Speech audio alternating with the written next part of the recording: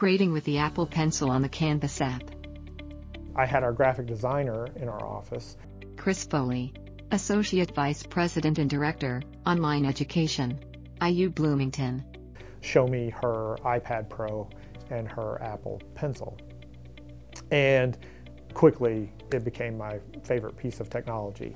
So the challenges I had before were really the way I construct my class. Uh, it's all about written assignments, and I like to give written commentary back, very, very in-depth commentary. The other thing that, that I just found kind of problematic with the whole process is that I just couldn't get the, the organic feel um, of grading the way I would with an old paper and pencil or a pen and pencil kind of mentality. Essentially, the technology that I have to use in order to grade these papers using the iPencil or the Apple Pencil on the iPad. Using the Apple Pencil, he chooses colors and draws and writes directly over or next to the text on the screen of the iPad.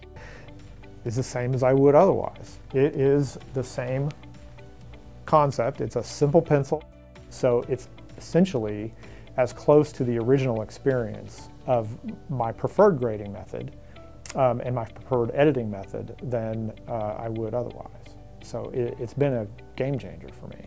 I can handwrite comments, I can underline them, uh, you know, I, I, can change colors, I can do all sorts of stuff there.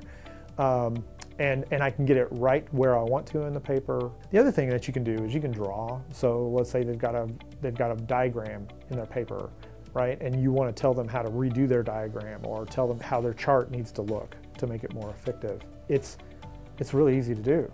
You're just drawing like you would normally do it. So I feel like for me, I can spend much more time engaging with the text, um, in, engaging with what they want and need to hear from me um, about the, the topics that they're struggling with in, in the papers. Um, and that just makes me a better teacher at this point. Indiana University Bicentennial. Copyright 2019, The Trustees of Indiana University.